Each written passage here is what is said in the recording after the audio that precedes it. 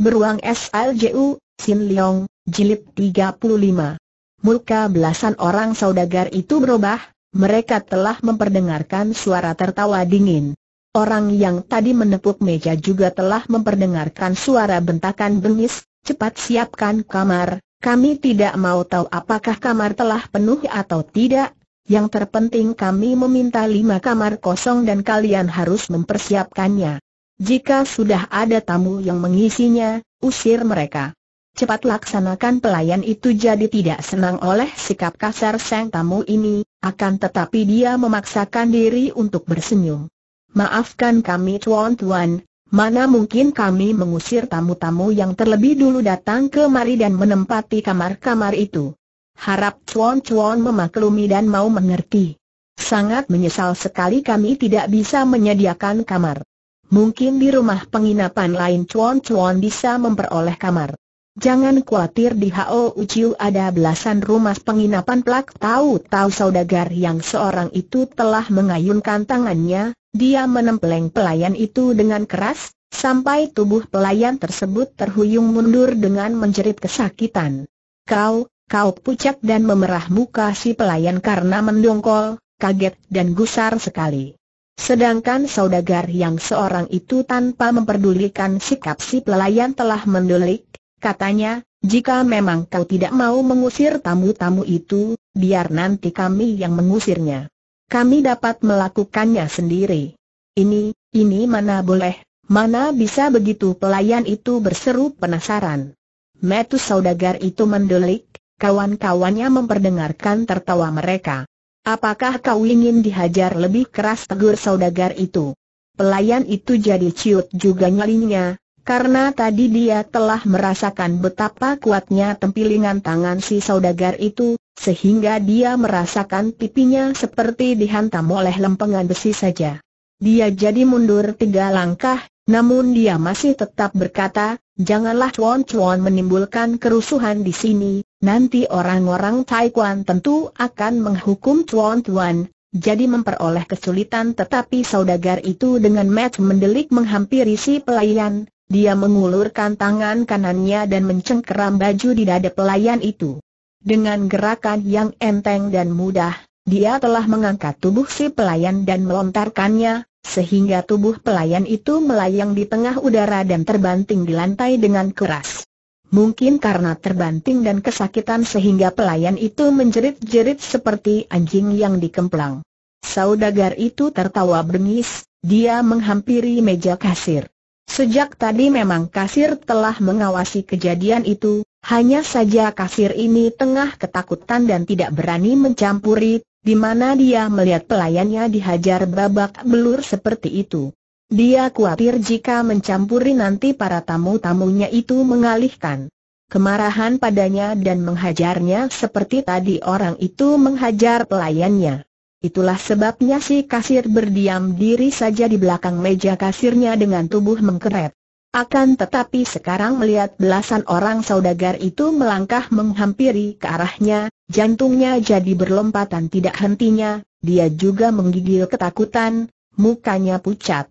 Belum lagi tamunya, saudagar yang tadi melontarkan tubuh si pelayan berkata-kata dia melihat mata orang yang mendelik seperti itu padanya, si kasir telah berkata dengan suara yang ketakutan, Aku, aku tidak tahu menahu urusan pelayan kurang ajar itu, harap cuan-cuan jangan gusar.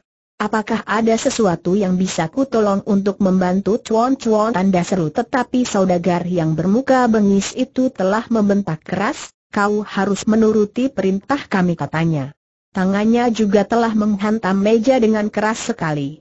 Sampai jantung kasir itu berlompatan, dan semangatnya seperti terbang meninggalkan raganya. Ya, ya kata kasir itu ketakutan bukan main. Katakanlah apa yang harus kulakukan sediakan lima buah kamar kosong buat kami kata saudagar itu. Ini, ini si kasir jadi sangat gugup, mukanya semakin pucat. Kenapa mata saudagar itu mendelik besar sekali? Kamar-kamar telah penuh, menyesal sekali, menyesal kata si kasir dengan gugup. Plak mejanya telah dihantam dengan keras oleh saudagar itu. Semangat kasir itu melayang terbang meninggalkan raganya, dan tubuhnya menggigil semakin keras. Di samping itu juga tampak dia telah melompat mundur menjauhi meja kasirnya tiga langkah. Apakah kau ingin dihajar dulu baru melaksanakan permintaan kami tegur saudagar itu? Oh, mana berani kami berayal atas permintaan Chuan Tuan.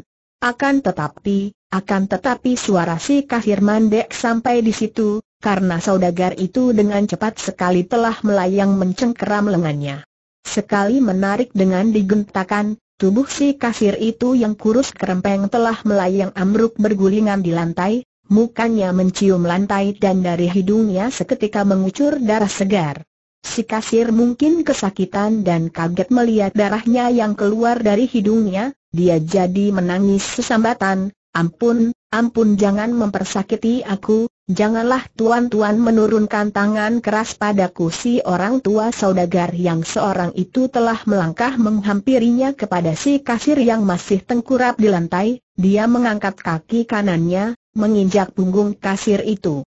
Sedangkan belasan orang saudagar lainnya telah tertawa bergelak, tampaknya mereka girang sekali.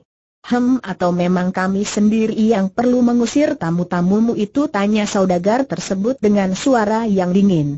Itu, itu mana boleh, mereka datang lebih dulu dan mereka juga membayar dengan harga yang telah ditetapkan kata si kasir kesakitan dan ketakutan.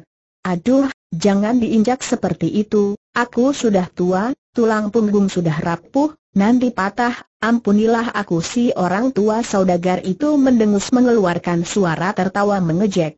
Hem, jika memang mereka itu membayar menurut tarif yang telah ditentukan, maka kami akan membayarnya dua kali lipat kamar-kamar itu. Cepat kosongkan dan usir mereka lepaskan dulu injakanmu, Cuan, aduh, aku bisa mati jika diinjak lebih lama lagi berseru-seru kesakitan dan juga ketakutan. Saudagar tersebut mengangkat kakinya. Dia melepaskan injakannya. Cepat kau laksanakah perintahku bentaknya bengis, dia yakin tentunya si kasir akan mematuhi perintahnya itu. Kasir itu merangkak bangun sambil menangis, dia menyusut mulut dan hidungnya yang mengucurkan darah segar. Aku, aku mohon kepada Tuan Tuan, janganlah menghancurkan usaha kami, kami berusaha dengan modal kecil. Jika saja kami mengusir tamu-tamu itu, tentu kami akan memiliki nama jelek dan kelak tentu tidak ada tamu-tamu lainnya yang sudi menginap di sini. Maafkan dan ampunilah tuan-tuan, Janganlah Chuan-Chuan memaksa aku untuk melakukan perbuatan rendah seperti itu, walaupun Chuan-Chuan bersedia membayar dua kali lipat, akan tetapi aku tidak bisa menerimanya. Maafkanlah Chuan-Chuan. Mendengar itu, si saudagar jadi mendelik lebar lagi matanya, dia berkata dengan suara bengis, bagus. Bila demikian jelas kau ingin dihajar pula baru mau memenuhi perintahku. Kau mencari penyakit dulu sambil berkata begitu, si saudagar tersebut menghampiri dengan langkah perlahan-lahan. Kasir itu tambah ketakutan, lemaslah sepasang kakinya, cepat-cepat dia menekuk kedua kakinya dan berlutut di hadapan saudagar itu sambil menganggukkan kepalanya berulang kali, ampun, ampun, janganlah aku si orang tua disiksa dan dia memohon pengampunan itu sambil menangis, karena dia tahu, jika saja dia dibanting berulang kali, jelas tulang tuanya akan berantakan.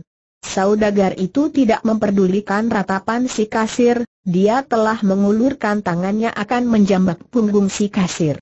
Si kasir tambah ketakutan bukan main, sampai dia menjerit dengan suara yang nyaring. Di waktu itulah si saudagar, telah mengangkat tubuh kasir itu, maksudnya akan membantingnya. Akan tetapi, Waktu jiwa si kasir terancam tiba-tiba terdengar suara orang membentak, tahan nyaring sekali suara tersebut, segera juga terlihat, dari salah satu meja di sudut ruangan itu melompat sesosok tubuh, ringan sekali, menghampiri saudagar yang seorang tersebut. Si saudagar tersebut menahan gerakan tangannya, dia batal membanting. Dikala itu, dengan mata beringas dia menoleh kepada orang yang mencegah dia membanting si kasir. Ampun, ampun si kasir yang masih dicengkeram itu telah menjerit-jerit kalap, karena dia khawatir kalau-kalau dirinya dibanting ke lantai. Berarti jika dia tidak mati tentunya akan terluka parah, patah tangan atau kakinya atau boleh jadi tulang punggungnya. Dengan demikian, telah membuat dia menjerit sejadi-jadinya.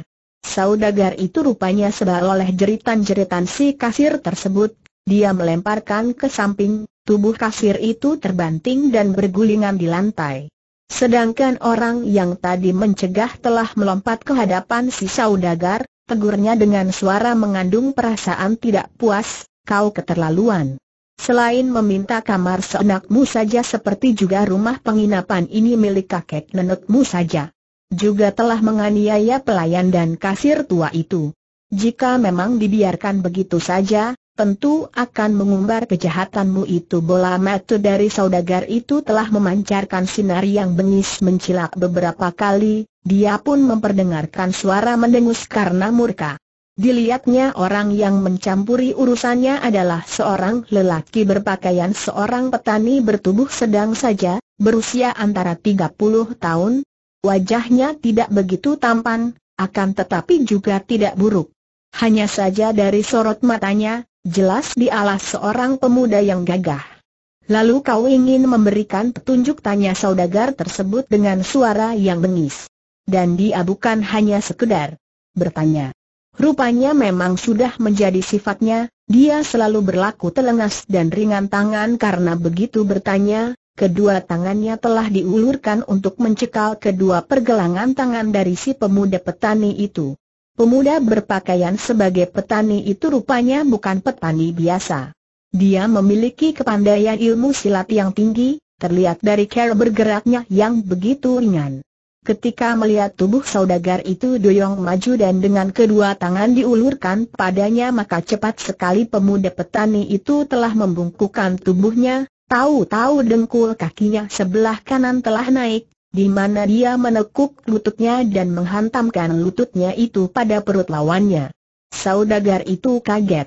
Biasanya seorang yang diserang seperti itu olehnya, yaitu dengan kedua tangan terulurkan dan juga akan mencengkeram lengan lawan maka Seng lawan akan menghindarkan diri dengan segera, melompat ke belakang, ke samping kiri atau kanan, atau juga menangkisnya dengan kuat. Baru pertama kali ini saudagar itu memperoleh lawan yang demikian aneh yang menyambut serangannya dengan tubuh, yang agak dibungkukan dan juga dengan lutut yang dipakai menyerang ke perutnya. Saudagar itu mengetahui bahwa tenaga serangan lutut kaki lawannya tidak ringan, karena jika saja lutut petani itu berhasil menghantam perutnya, tentu seluruh isi perutnya akan hancur. Karenanya saudagar itu tidak meneruskan serangannya, dia menarik pulang kedua tangannya dan melompat mundur. Dengan demikian dia berhasil menghindarkan perutnya dari benturan lutut kaki si petani tersebut. Akan tetapi saudagar itu tidak bisa bernapas lega dalam waktu yang lama, karena baru saja dia berdiri dengan kedua kakinya, waktu itu si petani telah melompat ke dekatnya dan telah menyerang dengan tangan kirinya.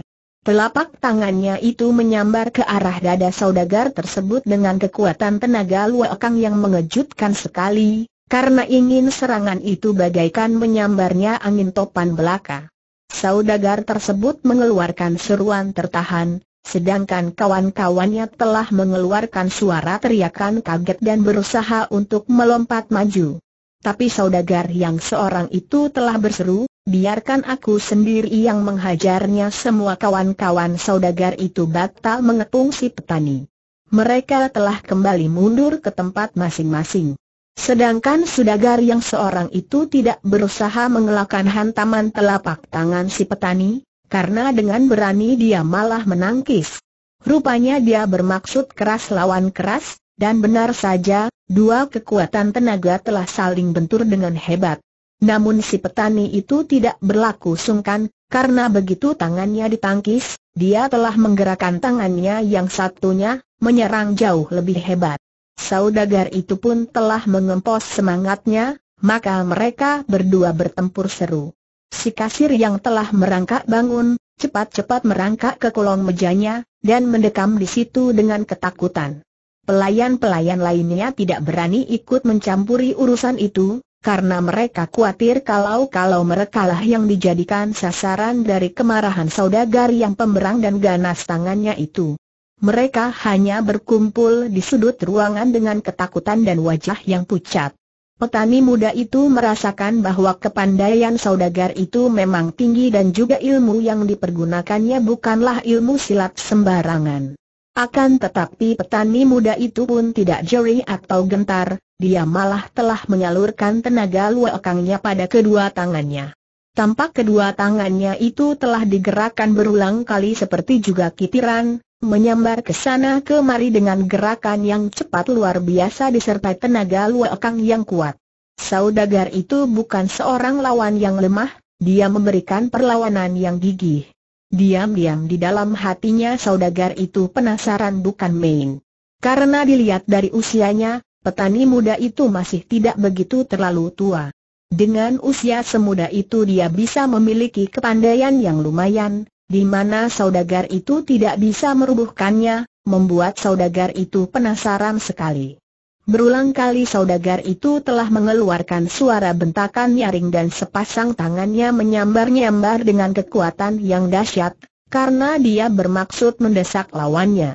Akan tetapi, petani yang masih berusia muda itu terbawa oleh sifatnya yang panas, dia bukannya gentar menerima serangan-serangan yang berbahaya dari saudagar itu, malah dia memberikan perlawanan yang gigih. Berulang kali tangan mereka telah saling bentrok dan menyebabkan mereka melompat mundur, namun selalu pula mereka menerjang maju untuk mengukur tenaga dan kepandaian lagi. Keringat telah memenuhi muka saudagar dan petani itu, mereka masih juga saling serang dengan seru. Banyak meja dan kursi yang telah terjungkal kena ditendang dan dihantam tangan mereka, benda-benda itu banyak yang rusak. Namun kedua orang yang tengah bertanding itu tidak memperdulikan keadaan seperti itu. Kasir dan beberapa orang pelayan yang melihat kerusakan terjadi pada kursi dan meja jadi berseru-seru, jika ingin bertanding di luar saja, janganlah menghancurkan usaha kami yang bermodal kecil ini, harap bertempur di luar saja tetapi si petani dan saudagar itu mana memperhatikan teriakan-teriakan mereka. Keduanya tetap bertempur dengan seru. Suatu kali rupanya petani muda itu berlaku ayal dalam hal mengelakkan diri dari gempuran tangan kanan saudagar itu, karena tahu-tahu kepalan tangan saudagar itu telah hinggap di pundaknya, tubuh petani itu terhuyung beberapa langkah dengan muka yang berubah merah padam. Saudagar itu tampak bangga, dia telah mengejek dengan sikap yang bengis, hem, Apakah kau ingin meneruskan pertempuran ini mengapa tidak berseru petani muda tersebut? Dia telah melompat dengan gesit, tubuhnya bagaikan terbang menerjang dekat kepada saudagar itu. Kedua tangannya yang bergerak dengan cepat sekali, sehingga saudagar itu yang tidak menduga lawannya akan menyerang seperti itu telah terhantam telak dadanya. Tubuhnya terjungkal bergulingan di lantai.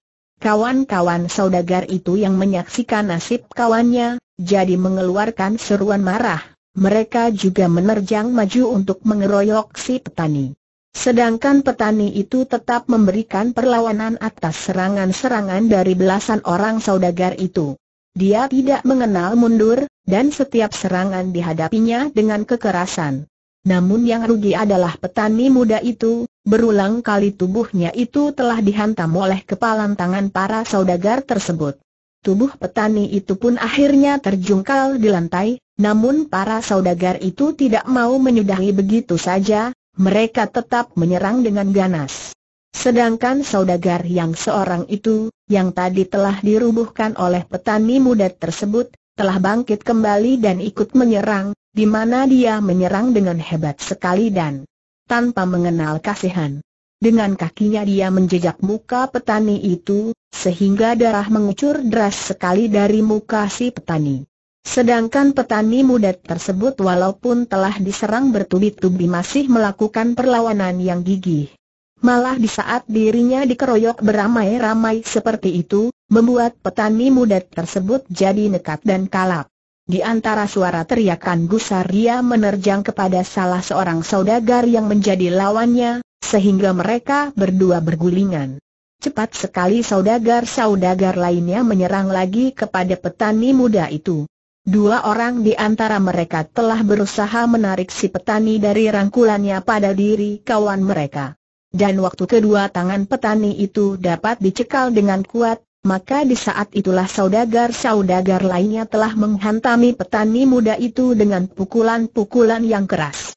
Petani muda itu telah jatuh pingsan tidak sadarkan diri, karena darah banyak sekali mengalir keluar, membuat dia rubuh di lantai ketika cekalan para saudagar itu dilepaskan. Sedangkan saudagar-saudagar itu cepat membersihkan pakaian mereka, salah seorang memanggil pelayan dengan suara yang bengis. Dua orang pelayan rumah penginapan karena ketakutan menghampiri dengan tubuh yang terbungkuk-bungkuk dan wajahnya pucat. Tubuh mereka tampak menggigil ketakutan, sebab khawatir kalau para saudagar itu melimpahkan kemarahan mereka kepada dirinya. Bawah dan lemparkan manusia tidak kenal mampus ini keluar perintah saudagar yang seorang itu. Dan cepat siapkan kamar buat kami setelah berkata begitu, tangan saudagar yang seorang itu mendorong dengan gerakan yang perlahan. Akan tetapi kesudahannya memang luar biasa, sebab kedua orang pelayan itu telah terjungkal rubuh bergulingan di lantai. Sambil merangkak bangun dengan wajah yang pucat dan tubuh menggigil, kedua pelayan itu cepat-cepat menghampiri tubuh si petani muda, diangkatnya oleh mereka dan dibawa keluar.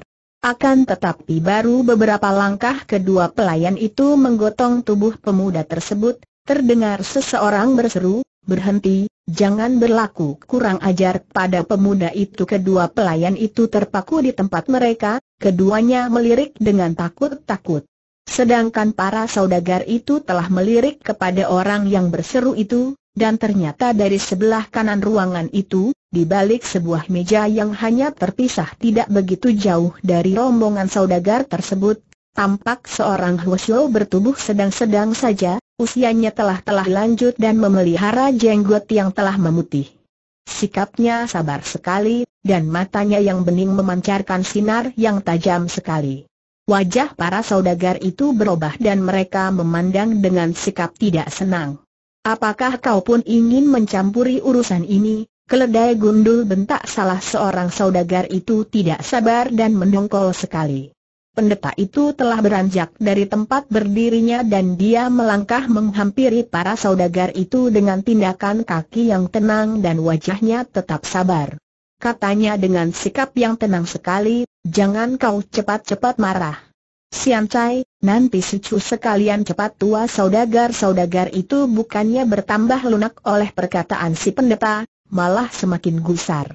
Yang tadi telah mengejek pada pendeta itu malah berkata dengan gesit, jika memang kau kenal penyakit dan sayang akan jiwamu, cepat pergi menggelinding, jangan coba mencampuri urusan kami, atau memang kau ingin merasakan apa yang dialami oleh pemuda dungu itu Hwasyo itu merangkapkan sepasang tangannya sambil memuji akan kebesaran Seng Buddha. Baru kemudian katanya, Sian Cai.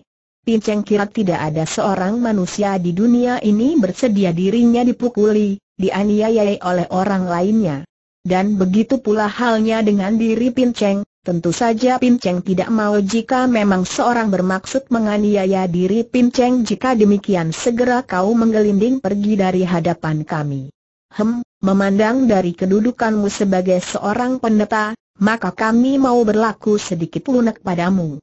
Tetapi jika memang kau lancang ingin mencampuri urusan kami, Kepalamu yang gundul itu akan kami hajar sampai pecah dan keluar polos serta otaknya setelah berkata begitu, saudagar yang seorang tersebut memperdengarkan suara tertawa mengejeknya berulang kali. Hwasyo tersebut tetap membawa sikap yang tenang dan sabar, dia hanya mengucapkan kebesaran Seng Buddha, baru kemudian dengan melirik kepada pemuda yang terluka parah akibat dianiaya oleh saudagar-saudagar tersebut, berkata dengan suara mengandung iba dan kasihan. Walaupun pemuda itu bersalah pada kalian, akan tetapi si Chu semua tidak boleh main hakim sendiri memukulnya sampai begitu rupa. Jika memang pemuda itu hilang jiwa, tidakkah hal itu akan dibuat sayang? Dia masih berusia muda. Sedangkan Pim Cheng kira kesalahan yang dilakukannya juga tidak terlalu besar, dia hanya ingin membela pelayan itu agar tidak diperlakukan kasar oleh si Chu, bukankah begitu?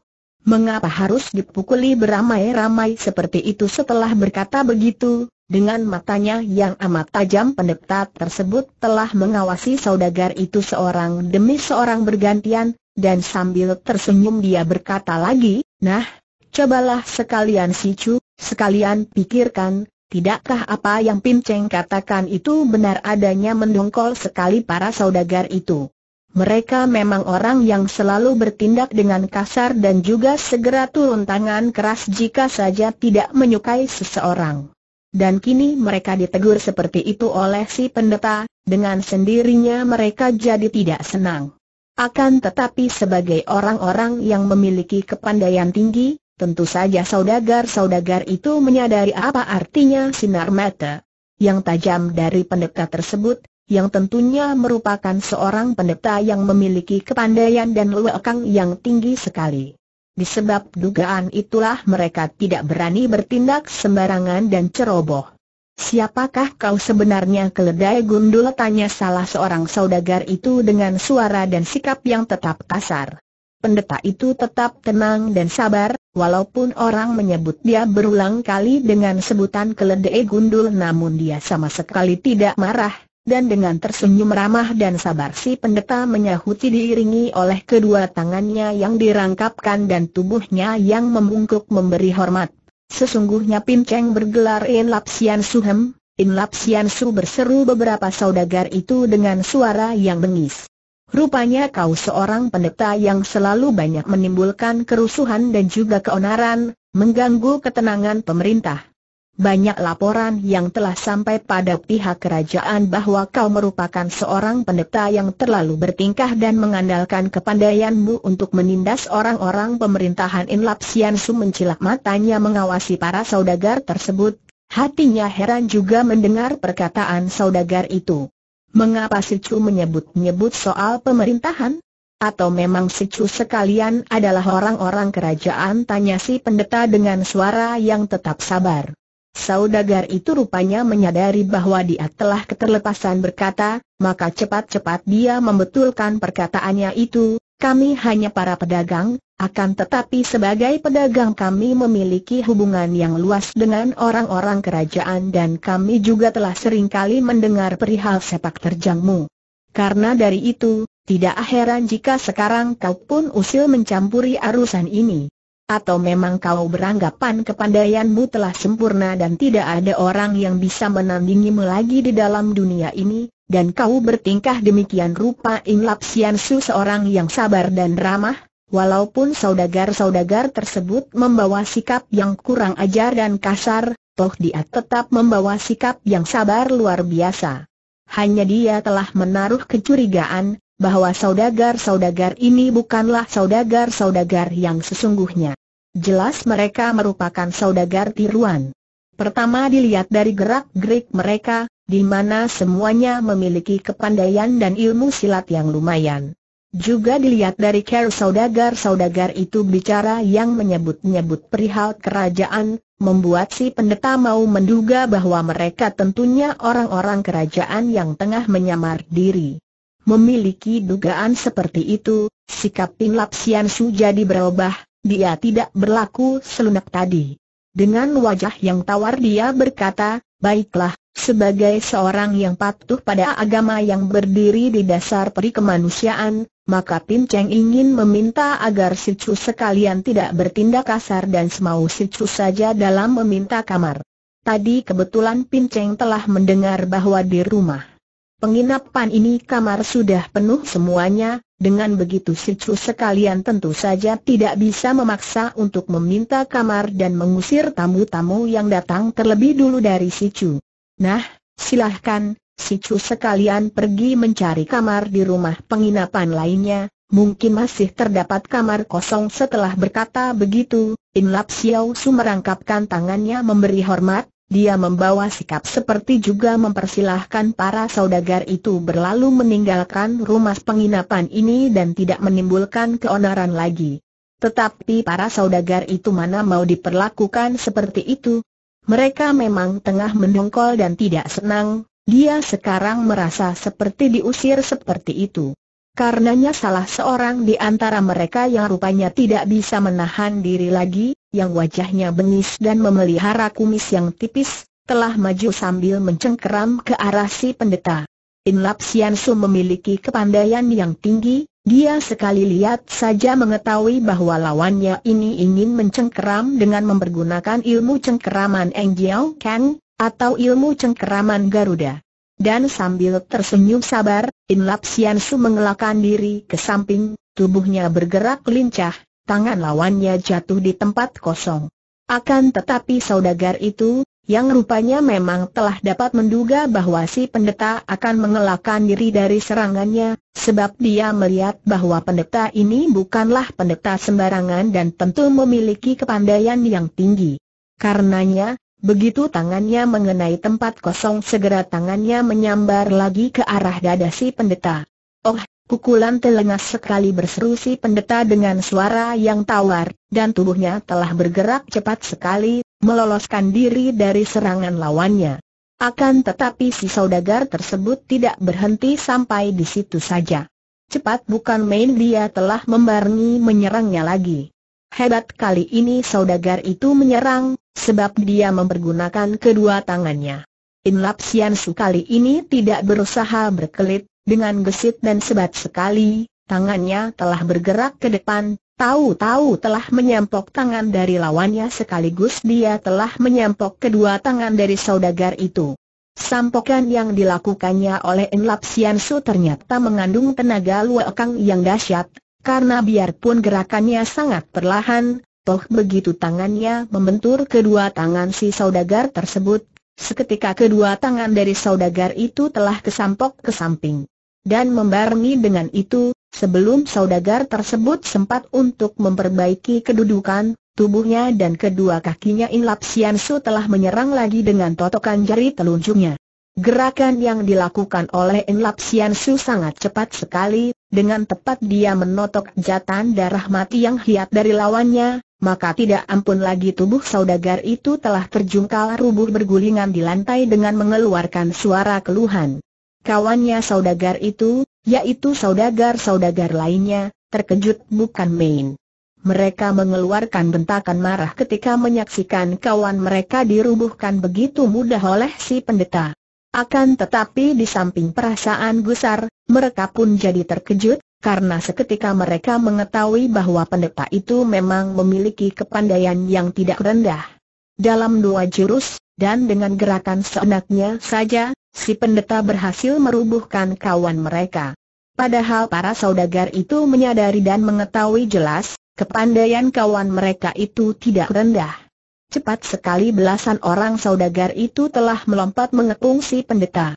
In Lap Sian Su tetap berdiri tenang di tempatnya, dia merangkapkan sepasang tangannya sambil bergumam perlahan, harap si Chu sekalian jangan menimbulkan keonaran belasan orang saudagar itu mana mau mendengar permintaan si pendeta.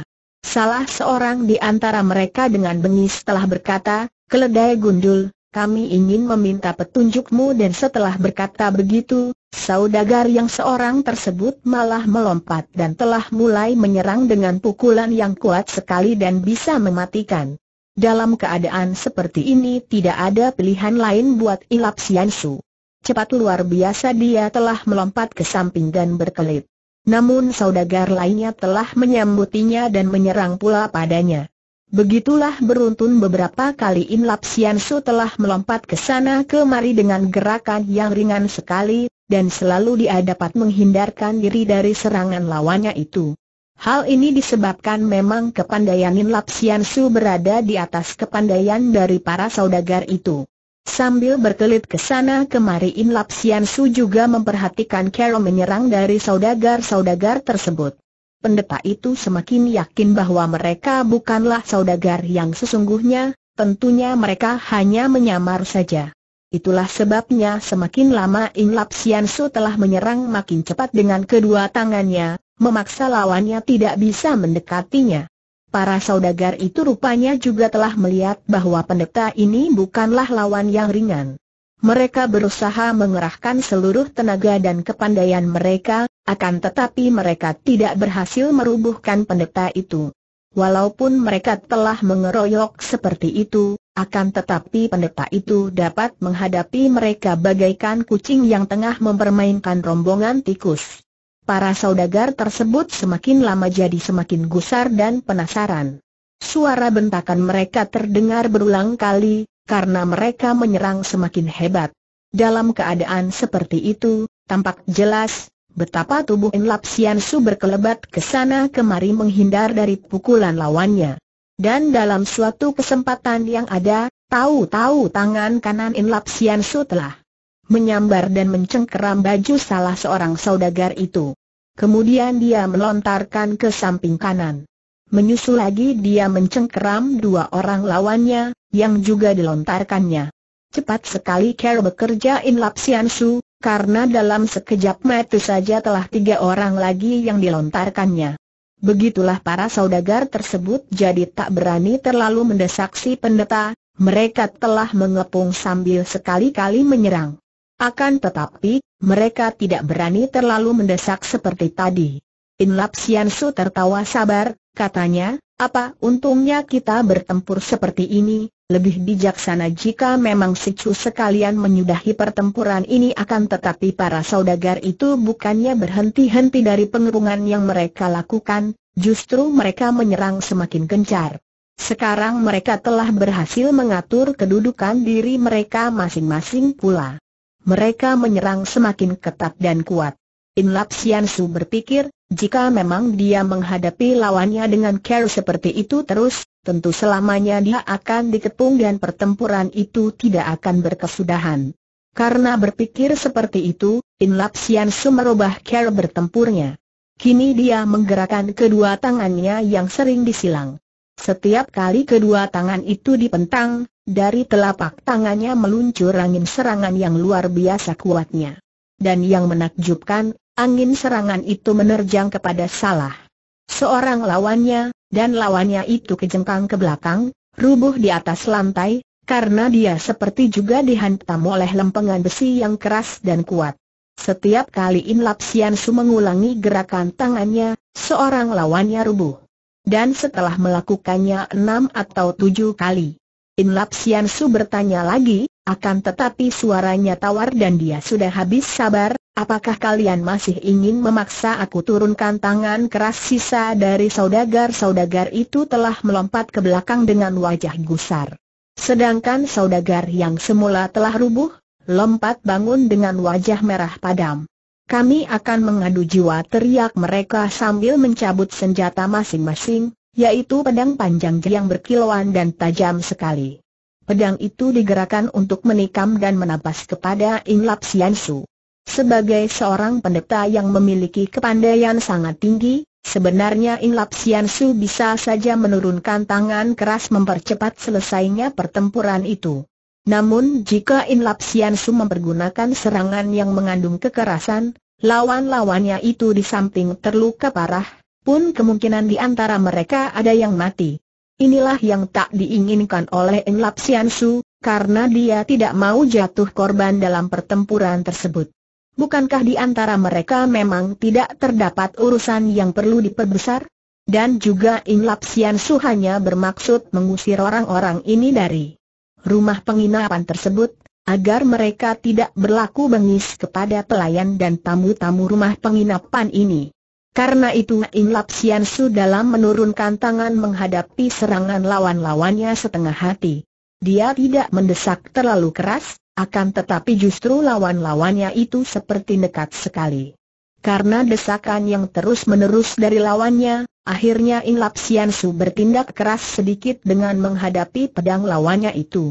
Dengan mempergunakan jepitan jari telunjuknya, pedang lawannya telah patah berulang kali. Setiap menyambar salah satu pedang lawannya, In Lap Sian Su telah menjepitnya dan pedang itu menjadi patah. Para saudagar itu jadi terkejut, mereka melompat mundur, dan akhirnya tanpa mengucapkan sepatah perkataan juga telah memutar tubuh mereka berlalu dari rumah penginapan itu. Kasir dan pelayan rumah penginapan dapat bernapas lega, dan mereka cepat-cepat mengucapkan terima kasih kepada In Lap Siansu. Sedangkan In Lap Siansu sendiri tidak berdiam terlalu lama di rumah penginapan tersebut, karena dia menaruh kecurigaan kepada saudagar-saudagar tersebut. Setelah membayar harga minuman dan makanan yang telah dimakannya, In Lap Sian Su meninggalkan rumah penginapan itu pula, karena pendeta ini bermaksud untuk mengikuti belasan orang saudagar tersebut. Ternyata belasan orang saudagar tersebut telah berhasil menumpang di sebuah rumah penduduk, yang mereka bayar dengan harga yang mahal sekali. In Lap Sian Su mengawasi dari kejauhan, dan menantikan sampai sang malam tiba. Ketika itu, di sekitar tempat tersebut lewat belasan orang pengemis. Waktu melihat Ilap Sian Su berdiam di balik sebatang pohon, mereka bercuriga. Segera salah seorang di antara pengemis itu menghampiri si pendeta dan menegurnya, Kaisu, apa yang tengah kau lakukan di situ? Inlap Sian Su tersenyum. Aku sedang mencari tempat yang baik untuk membaca Liam Heng, hanya sayangnya justru Pim Cheng belum berhasil menemui tempat yang baik, untuk Pim Cheng dengan tenang membaca Liam Heng Dusta In Lap Sian Su. Pengemis itu mencilak matanya, dia rupanya masih bercuriga dan tidak mempercayai keterangan In Lap Sian Su. Jika memang Tai Su kesulitan untuk menemukan tempat yang tenang membaca Liam Heng, mari ikut bersama dengan kami. Kami akan menunjukkan sebuah tempat yang sangat baik kata pengemis tersebut.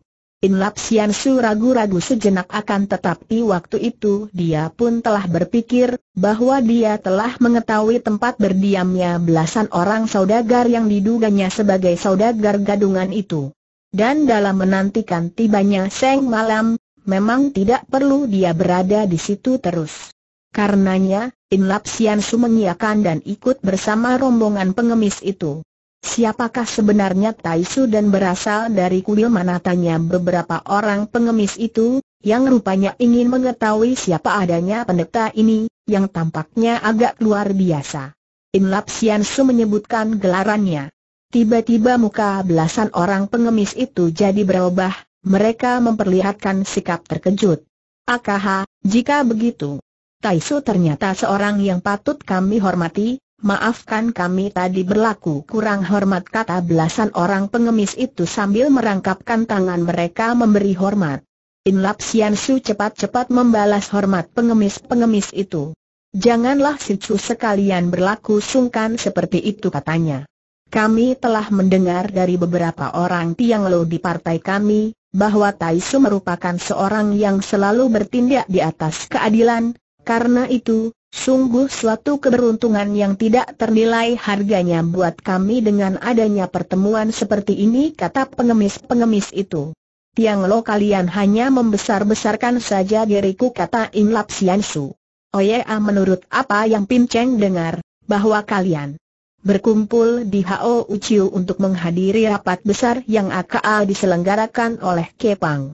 Bukankah begitu pengemis-pengemis itu mengangguk?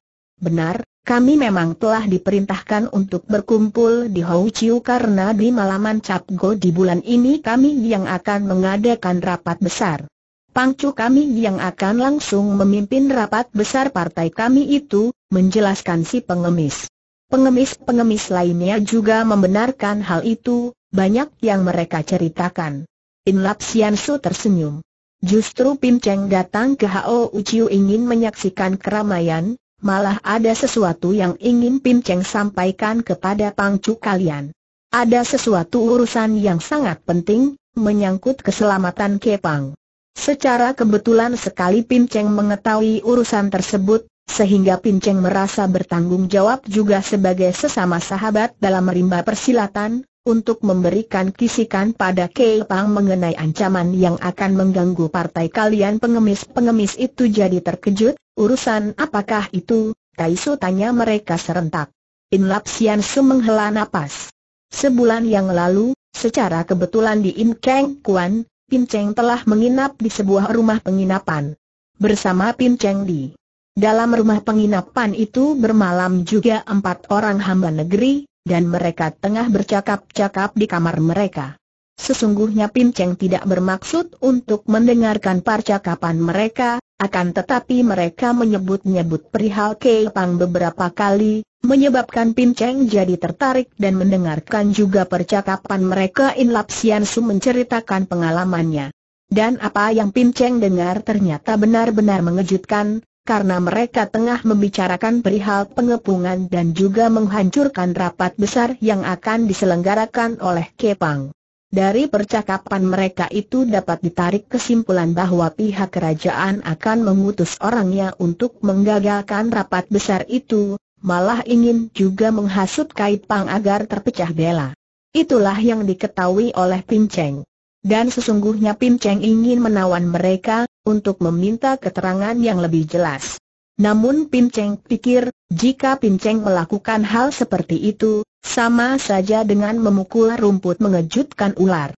Karenanya Pinceng mengambil keputusan untuk cepat-cepat menemui Pangcu Kepang saja pengemis-pengemis itu jadi kaget, dan mereka telah bisik-bisik satu dengan yang lainnya. Akhirnya salah seorang di antara mereka telah berkata, jika demikian, Kaisu memang perlu cepat-cepat dipertemukan dengan pangcu kami, akan tetapi justru kami belum lagi mengetahui apakah pangcu kami telah tiba di Hao Uchiu ini. Tetapi ada baiknya jika memang kalau kami ajak bertemu dengan seorang pemimpin kami. In Lap Sian Su menyetujui usul pengemis-pengemis itu.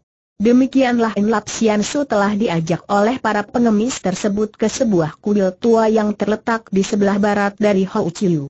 Kuil itu merupakan kuil yang tidak begitu besar, masih terawat baik sekali. Dan kuil tersebut merupakan kuil milik Kepang cabang Hao Uchiu, di mana semua pengemis memang biasanya berkumpul di kuil itu. In Lap Sian Su ternyata dipertemukan dengan seorang pengemis tua, yang di punggungnya menggemblok lima karung. Dan dia merupakan seorang pengemis yang senang tersenyum dan ramah. In Lap Sian Su melihat betapa di kuil tersebut berkumpul banyak sekali pengemis-pengemis dari segala tingkatan. Ada yang membawa dua karung, tiga karung dan empat karung. Dan jumlah mereka pun hampir meliputi 500 orang lebih. Biasanya, di kuil tersebut paling tidak berkumpul 50 lebih orang pengemis. Namun justru sekarang di Hao Uchiu akan diselenggarakan rapat besar Keipang, maka banyak pengemis-pengemis dari luar daerah yang ditampung di kuil tersebut, tidak terlalu mengherankan jika jumlah pengemis-pengemis yang terdapat di kuil itu sangat banyak sekali. Akan tetapi walaupun jumlah mereka lebih dari 500 orang pengemis, namun tidak ada seorang pun di antara mereka yang menimbulkan suara berisik.